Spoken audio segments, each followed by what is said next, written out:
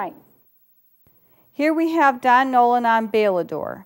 You'll recall Balador is the horse that had the significant problem with a sway or hollow back due to saddle fitting and bitting issues. Here we have Don riding Balador over poles and around cones. What this does is helps Balador to uh, balance better over his haunches and learn how to soften and supple his body.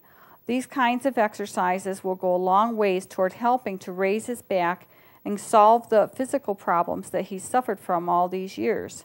Now, even though Balador is 18 years old, it's entirely possible and probable that if Don were to work this horse in proper tack with these kind of exercises on a regular basis and mix them up with the kind of half halts and halting that we talk about so that Balador could learn how to go in a correct uh, collected form, then Balador's back could indeed be corrected and he could come up into good functional use and chances are it would add many, many years to his uh, usable soundness.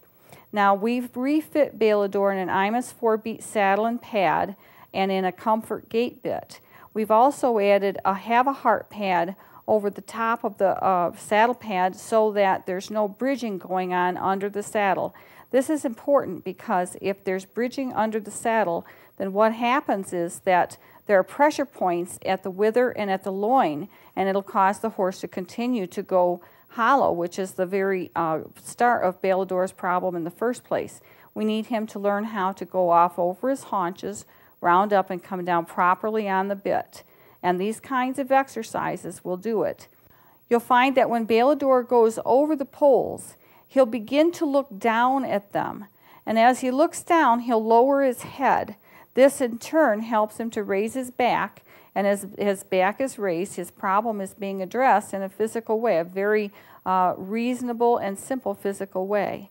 We have hopes that Balador will have many, many more years of useful life if Don will continue to ride him in this manner, and we, and we believe and trust that Don is committed to doing so.